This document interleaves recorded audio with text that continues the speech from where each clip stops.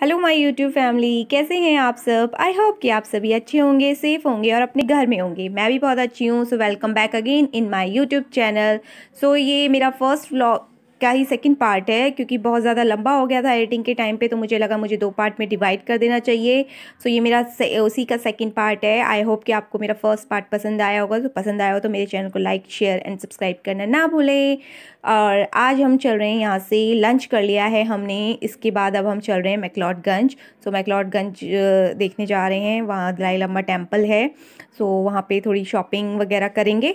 तो चलती हूँ आपको लेके मैकलॉडगंज होप आपको ये व्लॉग भी मेरा पसंद आएगा। चलिए, मिलती हूँ अभी आपसे आगे।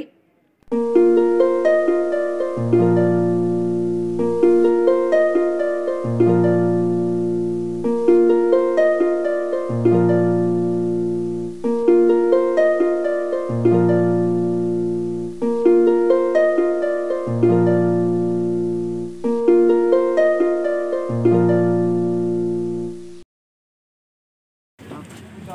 हम पहुँच गए हैं मैकलॉडगंज की मार्केट और यहीं से रास्ता आता है दलाई लामा टेंपल का।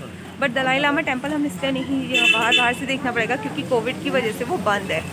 सो हम वहाँ अंदर नहीं जा सकते। तो चलते हैं। हम देखते हैं। क्या मार्केट में। हाँ लंच करते हैं। तो अब हम निकल चुके हैं, यहाँ पे एक टी गार्डन है छोटा सा। छोटा सा क्या, बहुत ज़्यादा बड़ा नहीं, बहुत ज़्यादा छोटा नहीं है। वो टी गार्डन देखने जा रहे हैं। उसके बाद हम आगे एक वॉर मेमोरियल है, भैया बता रहे हैं, वहाँ जाएँगे। हाँ एचपी का वॉर मेमोरियल है। उसके आगे उसके आगे अभी आगे बताते हैं कहाँ जाते हैं, क्योंकि एक्चुअली ड्राइवर भैया हैं, वो बीच बीच में कुछ कुछ प्लेसेस पढ़ रहे हैं, वो भी हमें दिखाते हुए लेके जा रहे हैं। तो यहाँ पे मेरी वॉइस नहीं आ रही थी, इसलिए मुझे वॉइस ओवर करनी पड़ी। चलिए, मिलती हूँ आपसे टी बागान में। सो so अभी मैं पहुँचे हैं चाय के बागान में। यहाँ पे चाय का बागान है। धर्मशाला से वापस नीचे आए हम। तो यहाँ चाय का बागान है। ये पूरा आप मेरे साइड सारा देख रहे हैं ना? ये सब चाय का बागान है। ये देखिए। पूरा बागान ये देखिए, इस तरीके के इसके फूल होते हैं जो कि मार्च में चाय बनती है।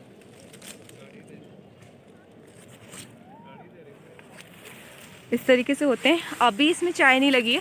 अभी यहाँ पे छटाई का काम चल रहा है रास्ता बना रहे हैं। सो so, कुछ टाइम बाद इसमें मार्च के मंथ में वो कह रहे हैं चाय लगेगी। तो इसके बाद चलते हैं स्टेडियम एंड म्यूज़ियम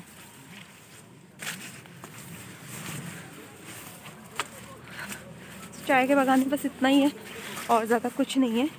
तो आज का अभी दिन के तीन बज गए पाँच साढ़े तीन सॉरी साढ़े तीन हो गए पाँच बजे स्टेडियम और म्यूज़ियम दोनों बंद हो जाता है। तो अभी हमें चलना पड़ेगा। नहीं तो स्टेडियम एंड म्यूज़ियम पहले वहीं जा रहे थे, लेकिन रास्ते में पेड़ गिरा हुआ था तो उस वजह से नहीं जा पाए। बट अब हम निकल रहे हैं, उधर ही जाते हैं। चलिए, मिलती हूँ मैं आपसे आगे। तो ये है पथरी देवी टेंपल करके कुछ था तो यहाँ हम गए थे टी बागान के बाद, और यहाँ टेंपल में मुझे रिकॉर्ड करना सही नहीं लगा, इसलिए मैंने टेंपल के अंदर की रिकॉर्डिंग नहीं करी है। इसके बाद हम आगे निकल रहे हैं वॉर मेमोरियल की तरफ़। ये मैंने निकलते समय रिकॉर्ड किया है। तो अभी पहुँच गए हैं हम state war memorial of HP ये छोटी छोटी जगहें हैं, जहाँ जहाँ हमें जाना था, उनके रास्ते के रास्ते में ही पड़ती हैं। तो भैया हमें छोटी छोटी जगहों को भी दिखाते हुए लेके जा रहे थे, क्योंकि लेकिन हमें पाँच बजे से पहले पहले हमें स्टेडियम और कांगड़ा फोर्ट कांगड़ा म्यूज़ियम है क्या Kangra art museum sorry Kangra art museum है, वो भी देखना था। तो हम जल्दी जल्दी सब जगह मतलब थोड़ा थोड़ा विज़िट करते जा रहे थे। हालाँकि यहाँ ऐसा कुछ नहीं है इतना ज़्यादा बट यहाँ पे जो हमारे फ्रीडम फाइटर्स हैं, उनके एचपी के जो फाइटर्स हैं, यहाँ आप आगे वीडियो में देखेंगे ब्लैक कलर के बड़े बड़े से बोर्ड हैं, उसमें बहुत सारे लिखा हुआ है। तो वो उन सब के शहीद, उन शहीदों के नाम हैं जो लड़ाई में मारे गए हैं। तो उन्हीं के लिए, उन्हीं के लिए यहाँ एचपी में ये मेमोरियल बनाया गया है। और बहुत यहाँ पे हिमाचल बहुत प्लीजेंट जगह है घूमने के लिए। अगर आप लोग जाना चाहें तो बहुत ज़रूर जाएँ। देखिए, सामने आपको दिख रहे होंगे वो ब्लैक ब्लैक से बड़े बड़े से बोर्ड।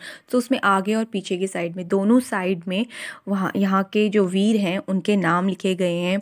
कब कौन सी लड़ाई में, कैसे मरे, वो सब चीज़ें वहाँ पे मेंशन की गई थी।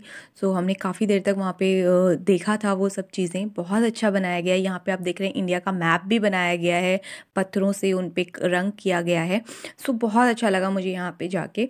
तो अभी मिलती हूँ आपसे। आप देखिए वीडियो को आगे पूरा।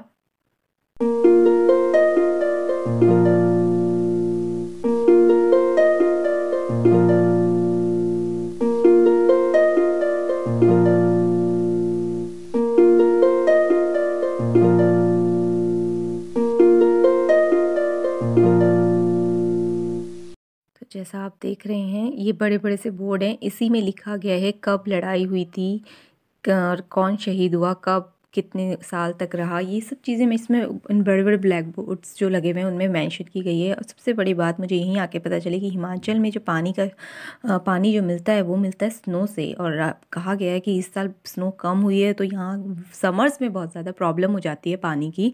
हालाँकि मैं भी उत्तरांचल से बिलोंग करती हूँ और वहाँ पर भी ऐसा ही है बट वहाँ स्नो का ऐसा कुछ नहीं है। बट जो हिमाचल के हैं, हिमाचल, उनको पता होगा कि यहाँ तो स्नो का ही पानी यूज़ होता है। तो चलिए मिलती हूँ अब आपसे आगे क्रिकेट स्टेडियम पे? पहुँच गए हम क्रिकेट स्टेडियम। ये ऐसा पहला स्टेडियम है जो पहाड़ों में बना है। यहाँ पे मैचेस वगैरह होते हैं, बहुत ज़्यादा नहीं बट आईपीएल वगैरह भी मैंने सुना है यहाँ पे होते हैं। कम मैचेस होते हैं बट ये फ़र्स्ट ऐसा स्टेडियम है जो पहाड़ों पे बना है। इससे पहले ऐसा कोई स्टेडियम नहीं है जो पहाड़ों पे बना है। और दिखने में भी बहुत सुंदर है गाइज़ बहुत बड़ा स्टेडियम है। मैंने फ़र्स्ट टाइम पहाड़ों में स्टेडियम देखा है। आज तक मैंने नहीं सुना ही था इसके बारे में। तो आज फ़र्स्ट टाइम मैंने देखा है बट बहुत अच्छा है। जिस तरीके से सुना था उस तरीके से देखा है। आ, अभी दिखाती हूँ मैं आपको अपने बैक कैमरा से। अभी एंट्रेंस की तरफ़ हम चल रहे हैं और मैं आपको बैक कैमरा से सारा व्यू यहाँ का दिखाती हूँ कैसा स्टेडियम बनाया गया है ये।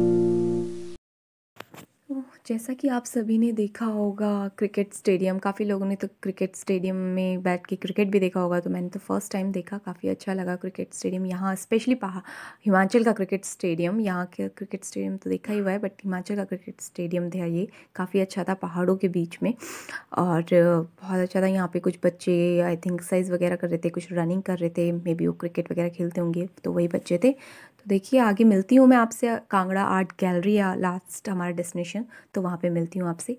तब हम पहुँच गए हैं museum of Kangra art Dharamshala. ये हमारा लास्ट डेस्टिनेशन है। हम मम्मी हम सारा घूम लिए ये हमारा लास्ट डेस्टिनेशन है आज का। आज बहुत आज का हमारा टूर यहीं पे ख़त्म होएगा। इसके बाद हम सीधे जाएँगे अपने। हम्म, अपने होटल में। अपने होटल में जाएँगे और उसके बाद वहीं पे देखते हैं थोड़ा घूमेंगे। तो अभी म्यूज़ियम के अंदर हम जा रहे हैं। म्यूज़ियम के अंदर जाते ही उन्होंने मना किया था कि कैमरा ऑफ़ कर दीजिए क्योंकि अंदर रिकॉर्डिंग करना मना था। तो मैंने कैमरा ऑफ़ कर दिया था इसके बाद। तो यही मेरा आज का लास्ट डेस्टिनेशन था हमारा। इसके बाद मेरा नेक्स्ट ब्लॉग आएगा।